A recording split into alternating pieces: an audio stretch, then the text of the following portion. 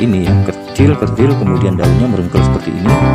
ini waktu kita akan sia-sia saja. Hasilnya ya seperti ini saya paksakan saya tanam nah hasilnya akan seperti ini. Ya.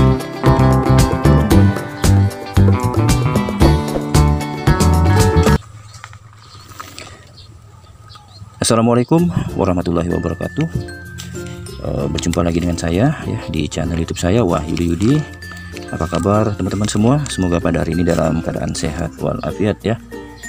Baik hari ini teman-teman saya akan berbagi uh, lagi satu pengalaman ya. Tentunya pengalaman ini masih mengenai tanaman cabai rawit ya di mana harga dari buah cabai rawit di daerah saya pada saat ini harganya ya cukup lumayan ya mahal di atas 100 ribu rupiah ya.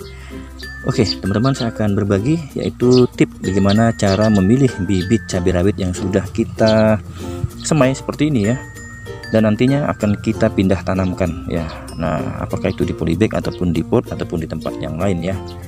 Nah eh, bibit eh, cabai rawit yang kita semai ya tentunya ya eh, bisa kita peroleh ya dari bibit yang kita beli di toko pertanian ya. Contohnya seperti ini dari bibit pertanian ya. Ini bibit unggul ya dari yang saya semai ya di sini bibit unggul tanaman cabai rawit. Kemudian teman-teman bisa juga uh, menyemai dari uh, bibit cabai rawit dari sisa-sisa uh, dapur ya. Nah bisa juga asalkan nah, di dalam melakukan proses penjemurannya ya sudah cukup ya. Jadi bisa kita semai dengan baik ya. Dan teman-teman walaupun bibit yang saya pilih ini adalah bibit unggul bibit yang baik ya bibit yang berkualitas tidak semua hasil dari bibit yang kita semai ini menghasilkan bibit yang baik juga ya. Tentunya ada sebagian bibit cabai rawit yang pertumbuhannya ya kurang uh, begitu sesuai yang kita inginkan ya. Nah contohnya seperti ini ya. Pertama-tama sudah kita semaikan kemudian ini bibit yang baik kita pisahkan ya. Ini yang baik dan ini yang tidak baik kita pisahkan di sini ya. Secara fisik kita bisa lihat ya contoh dari bibit cabai rawit yang pertumbuhannya baik ya seperti ini.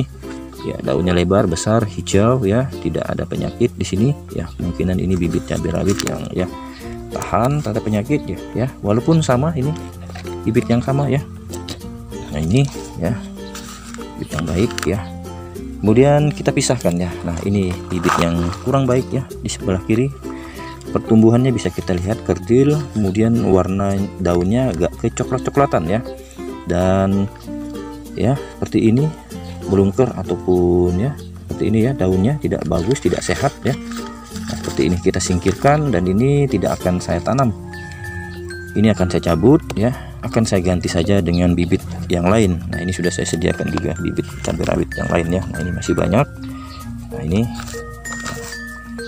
kita singkirkan ya. Jangan sampai nanti ini uh, penyakitnya akan menular ke bibit cabai rawit yang baik seperti ini. Jadi ini nanti akan kita cabut ya. Yang jelek ini kita singkirkan saja. Nah itu pengalaman saya teman-teman ya. Kita pilih yang baik saja ya. Kita bisa lihat secara fisik ya. Nah, kita lihat saja seperti ini. Seperti saya sampaikan tadi tidak semua bibit yang baik kita semai itu hasilnya akan baik seperti ini. Contohnya ini ya ada sebagian yang tidak baik. Ini akan kita singkirkan dan kita cabut kita ganti dengan bibit yang lain. Nah seperti ini. Ya. Nah itu cara pengalaman saya ya.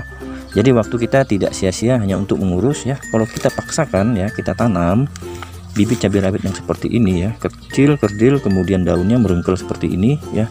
Ini waktu kita akan sia-sia saja. Nah seperti ini. Sia-sia saja ya.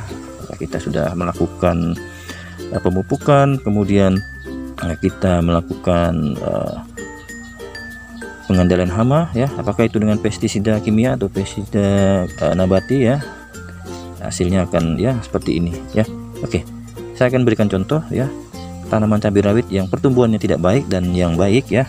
Nah ini yang tidak baik ini ya hasilnya seperti apa? Oke kita lihat ya. Nah, ini.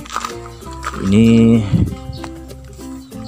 dua tanaman cabai rawit yang sama varietasnya Dewata 43 F1 umurnya sama juga ya. Ini 60 hari setelah pindah tanam. Kita lihat pertumbuhannya ya.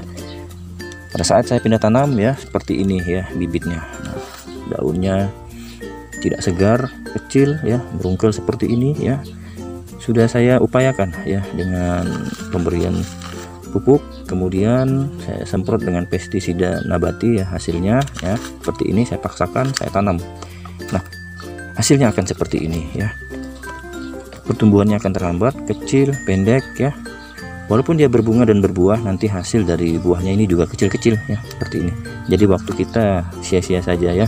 Sia-sia saja untuk mengurusnya hasilnya ya seperti ini. Di umur yang sama 60 hari. Nah sedangkan yang ini ini sama. Nah saya pindah tanamkan seperti ini ya tanamannya bibitnya. Nah daunnya lebar besar ya segar. Saya tanam seperti ini dengan hasilnya seperti ini. Pertumbuhannya lebih besar lebih tinggi ya kita lihat berbuah eh, berbunga dan berbuah sama. Ya. Oke teman-teman. Jika teman-teman mempunyai pengalaman seperti saya ya menyemai bibit cabai rawit seperti ini ya melihat ada melihat secara fisik ya perbedaan dari dua jenis cabai rawit yang sama disemai seperti ini. Nah ini umurnya kurang lebih eh, uh, 30 hari ya setelah semai nah seperti ini. Jadi lebih baik kita cabut yang sebelah kiri yang jelek kita singkirkan saja ya. Jangan kita tanam jangan kita paksa ya. Nanti hasilnya seperti ini ya. Nah ini nanti akan saya biarkan saja ya. Akan saya bandingkan pertumbuhannya. Kita lihat buahnya hasilnya ya. Akan kita dekatkan ya. Umur yang sama pertumbuhannya yang berbeda ya. Umur sama paritas cabai rawit yang sama ya pertumbuhannya berbeda ya. Nah seperti ini. Oke teman-teman semoga bermanfaat ya. Semoga pengalaman yang saya sampaikan ini eh, bisa teman-teman eh, ambil manfaatnya ya. Terima kasih. Kita berjumpa lagi di video saya berikutnya ya. Assalamualaikum warahmatullahi wabarakatuh